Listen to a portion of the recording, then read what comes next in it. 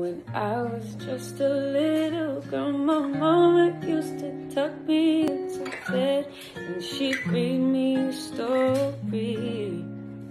It always was about a princess and in distress and how a guy would stay there and end up with the glory.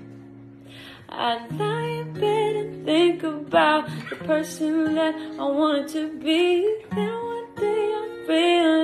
The fairy tale life wasn't for me. I don't wanna be like Cinderella, sitting in a dark cold dusty cellar, waiting for somebody to come and set me free. No, I don't wanna be like someone waiting for a handsome prince to come and save me. I wanna smile, that's a lie, no, I don't wanna be, no, no, no one.